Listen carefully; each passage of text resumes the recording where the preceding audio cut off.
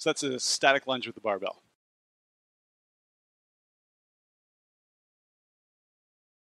I can show you a move. It's called a static lunge with the barbell. So again, I'm going to put the barbell on my shoulders. You can step under your squat rack and get set up. We're going to go, foot comes forward. So I'm going to use my left foot in this case. And I'm pressing all the weight into my heels. So you can notice that my toe can tap here. Chest is up facing forward. And then all we're going to do is extend our front leg. Toe of the back foot is pressing into the floor.